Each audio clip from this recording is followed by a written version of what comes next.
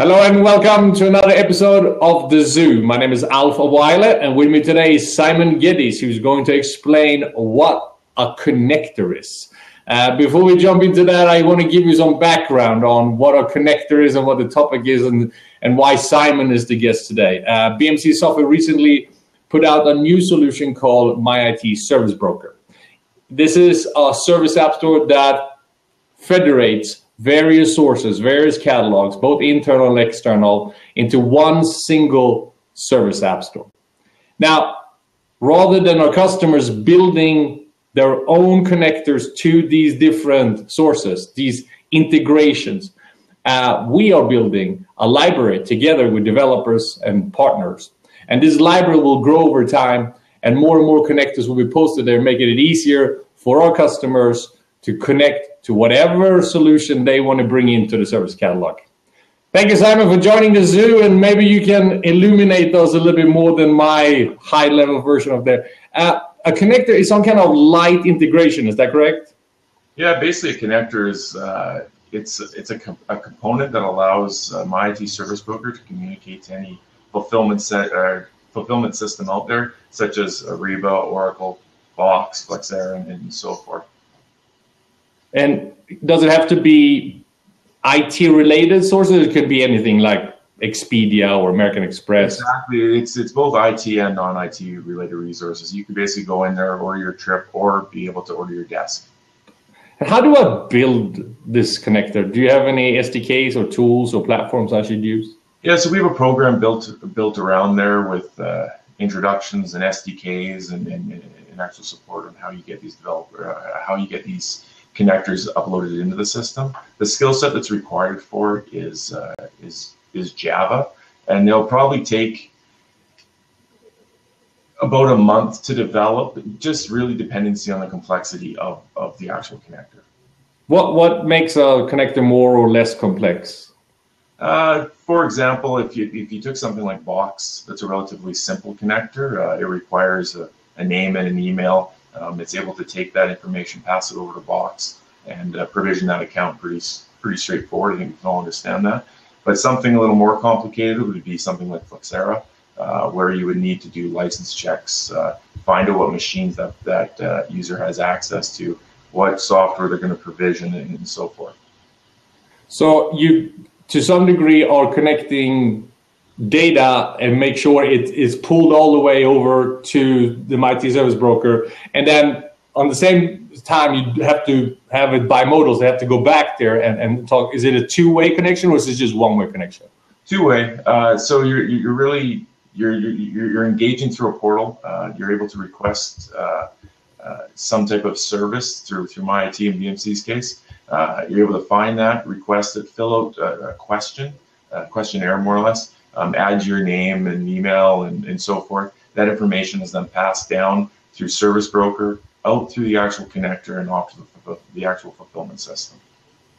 Now, and then it's fulfilled and it comes back and says, congratulations, your uh, account's been provisioned and away you go. Sounds very easy. Yeah. Uh, but it, it, like you use Box and I'm sure it works with others. So, but what if I have an old system? I mean, what if I have a BMC SRM, for example? Um, is does this work with every type of system? What what does the system that I want to connect to MyIT service broker have to be able to do for me to build a connector to it? It has to really just only communicate through uh, APIs to our APIs in, in, our system. So that's what the connector is. It's basically a, a, the component that's able to communicate between the two systems through APIs.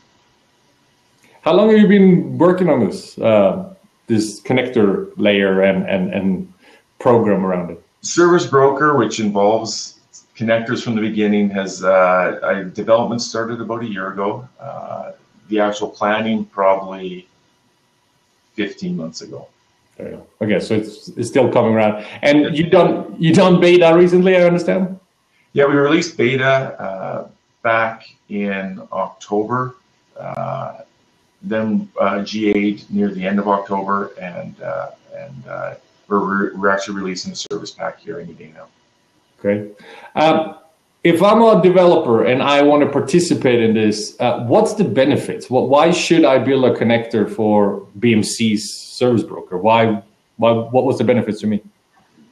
It's access to the systems that you have. BMC has, uh, I think it was just released the other day, 9 million uh, end users. If you're able to get your connector in there talking to your system in front of 9 million end users, that's pretty good exposure for your, your platform. Yeah, so it's, it's a way to promote your solutions, your innovations, and to it's not only 9 million end users, but it's like 15,000 companies and 80% of the Fortune 500 or something. Exactly. With uh, with within uh, Service Broker, there's actually a, a marketplace tab. Um, so you're able to go there and see any type of connector that's been procured uh, from BMC or contributed from your partner network. Uh, so so there's and it's all it, it's done up with all the meta language and the tags and the the videos and, and, and all that type of stuff that really helps market market your product. So if I buy my IT service broker um, and I want to start to federate my various sources like the SRM catalog. I might have HP Propel, plus I have some outsourcer, and I have a Dell hardware catalog, for example. Rather than building connectors to each of them individually, I go into this marketplace, and hopefully there are connectors to these sources there.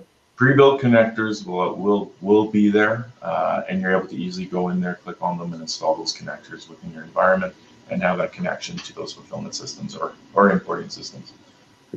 Um, over the next year or so, how many connections do we expect to see in the marketplace? Uh, five, a hundred?